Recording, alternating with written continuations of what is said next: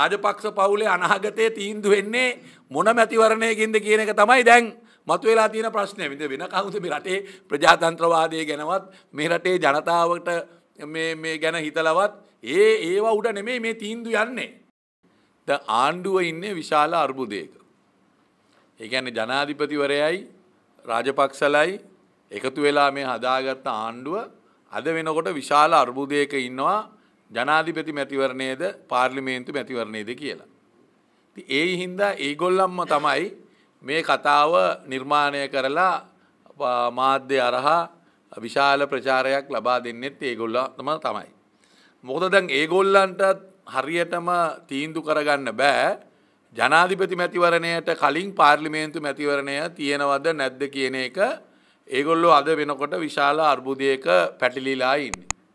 මොකද ඒ දෙගොල්ලම්ම දන්නවා අද වෙනකොට මේ සමාජයේ තිබෙන වාතාවරණය උඩ කිසිදු ආකාරයේ ජනපදනමක් කිසිදු ආකාරයේ ජනතා විශ්වාසයක් මේ වික්‍රමසිංහ රාජපක්ෂ පාලනය මේ වෙනකොට දිනාගෙන නැහැයි කියන එක තමයි යථාර්ථය. එක තමයි ඇත්ත කතාව. ඒ යථාර්ථය හින්දම දැන් ඒගොල්ලන්ට යම් කිසි ආකාරයේ විචිකිච්ඡාවක් තිබෙනවා අපි කලින් පාර්ලිමේන්තු මැතිවරණයකට යන එක අපේ ඇඟට සුදුසුද එහෙම නැත්නම් ජනාධිපති මැතිවරණයට යන එක අපිට අපේ ඇඟට සුදුසුද කියලා දැන් ඒගොල්ලෝ අතර විවාදයක් තිබෙනවා. ඒ ওই විවාදය තමයි දැන් මේ එළියට ඇවිල්ලා තියෙන්නේ. මොකද අපි දැක්ක පෞගේ කාලේ විශේෂයෙන්ම බැසිල් රාජපක්ෂ මැතිතුමා දැන් දවස ගානේ ජනාධිපතිතුමාව හම්බ වෙනවා.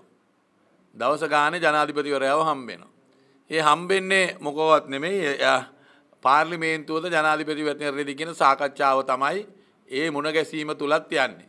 ඉතින් අපිට පේන්න තිබෙනවා විශේෂයෙන්ම දැන් ඒගොල්ලෝ අතර මේ මේ තිබෙන ඊළඟ මැතිවරණයේ කුමක්ද කියන එක නිශ්චිත වශයෙන් ඒගොල්ලන්ට තීන්දුවක් ගන්න බැරි වෙලා තිබෙනවා.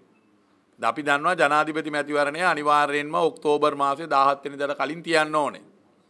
ඒක කිසිදු ආකාරයේ වෙනස් කිරීමකට ලක් කරන්න බෑ.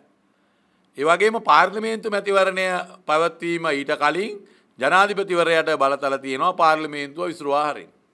ඒ හින්දා මේ මැතිවරණයෙන් දෙක දෙකෙන් මොන මැතිවරණයද ඉස්සරහට ගන්න කියන එක තමයි අද ඒගොල්ලන්ට ගැටලුවක් බවට පත් වෙලා තිබෙන්නේ. මොකද අපිට පේන්න තිබෙනවා විශේෂයෙන්ම දැන් පොදු ජන පෙරමුණ අපි ගත්තොත් එහෙම කෑලි 8කට විතර වගේ කැඩිලා තියෙන්නේ. අපිට පේනවානේ කෑලි 8කට ගිහිලා තියෙන්නේ.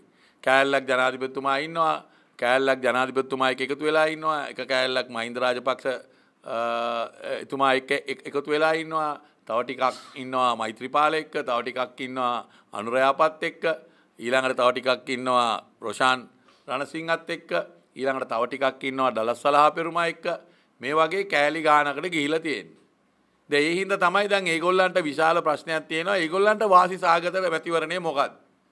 එහිද මම අපි හිතනවා මේ ප්‍රශ්නය මේ අර්බුදය ආවෙම බැසිල් රාජපක්ෂලා කල්පනා කරනවා ඊළඟ ජනාධිපතිවරණයේදී රනිල් වික්‍රමසිංහ දිනන්නේ නැහැ.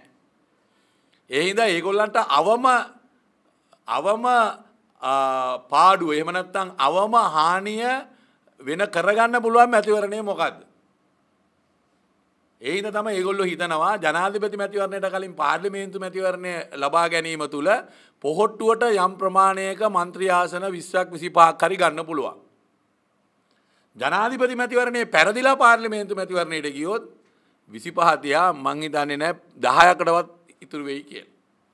අර සුනාමි එක ආව වගේ තමයි ඔක්කොම ගහගෙන යනවා.